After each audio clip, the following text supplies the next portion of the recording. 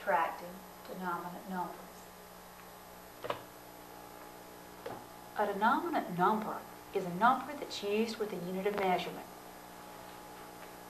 For example, 5 miles, 6 hours, 5,000 pounds.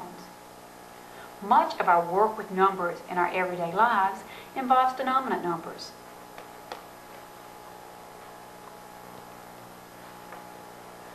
In working with the denominate numbers, we will need to know the different conversions to change back and forth from one unit to another.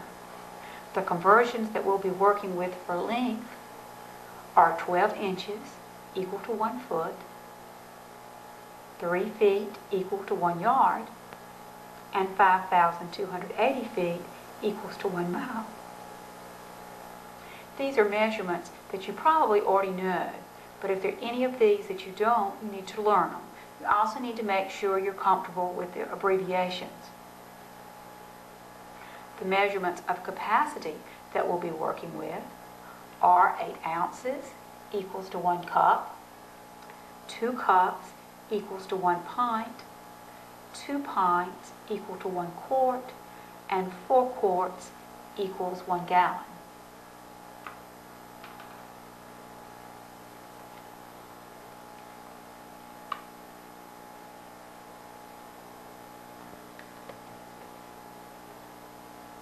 With time, the units of measurement that we'll be using are 60 seconds equals 1 minute, 60 minutes equals 1 hour, 24 hours equals to 1 day, 7 days equals 1 week, 365 days equals 1 year. With weight, we'll use the fact that 16 ounces equals 1 pound and 2,000 pounds equals 1 ton.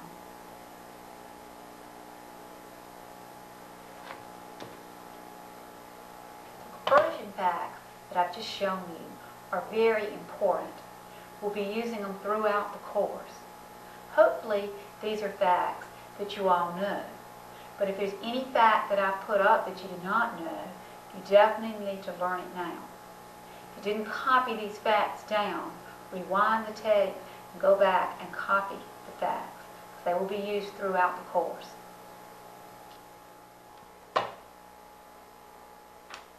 We'd like to begin by adding denominate numbers.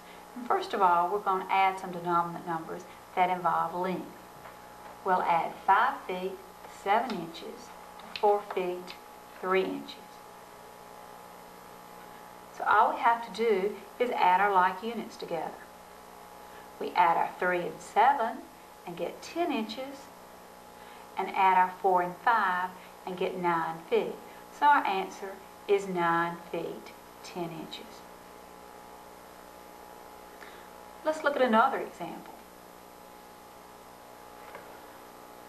This time we're working with yards and feet. If I had one yard and one foot and wanted to add it to four yards and two feet. Again, I have my feet lined up together and I have my yards lined up together. Well, when I add my 2 and my 1, I get 3 feet. And when I add my 4 and my 1, I get 5 yards. Now, if you remember, 3 feet equals to a yard. So since we have enough feet here to give us a whole yard, we don't want to leave our answer like this. In fact, it would be wrong if we left it this way. What we'd like to do is take this 3 feet and change that to one yard and put that over here with the five yards that we already have. So our answer to that addition problem would be six yards.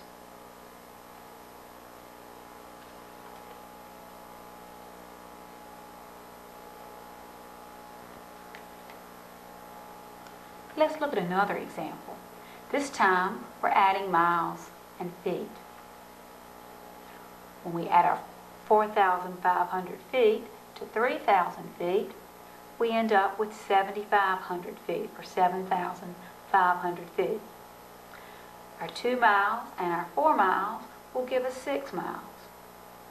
Now, this would be our answer unless we have enough feet to change those feet into some miles. So let's think about the conversion fact that relates feet to miles. If you'll remember, one mile is equal to 5,280 feet. And we certainly have more than 5,280 feet. Let's take 5,280 feet away from this. We did that. Zero from zero would leave zero. When we can't subtract 8 from zero, so we borrow 1 from the 5, which would leave us with a 4, and the, we put the one that we borrowed over here, that would give us the 10. 8 from 10 leaves 2. 2 from 4 leaves 2. And 5 from 7 leaves 2. And so we'd have 2,220 feet left. So the 5,280 that we took away was one mile. So what we'd want to do is take that one mile and put it over here with the six miles that we already had. So what would happen is our answer would end up being seven miles, 2,220 feet. So we took the 5,280 feet away from the 7,500 feet, and that was a mile. We added that mile to the six miles that we already had, which gave us seven miles, and we have left 2,220 feet. And we want to be sure that our 2,220 was always less than this conversion fact up here. If we had more than 5,280 feet left, then we'd need to send another mile over there with the six miles.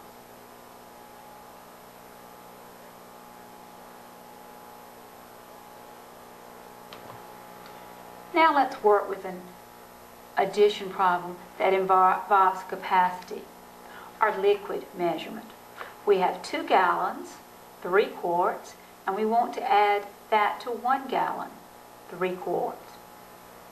So if we add our quarts together, we end up with six quarts. We add our gallons together, we end up with three gallons. So we have three gallons and six quarts. Again, that would be our answer as long as we don't have enough quarts to give us any more gallons. Well, if we think about our conversion fact that tells us how many quarts it takes to make a gallon, hopefully you'd remember that it takes four quarts to equal to a gallon. And since we have more than four quarts here, we can carry a quart over there, carry a gallon over there to give us more gallons. So let's do that. Let's take our four quarts away, and that would leave us with two quarts. And the four that we're going to take away, this would be our one gallon. So if we take that one gallon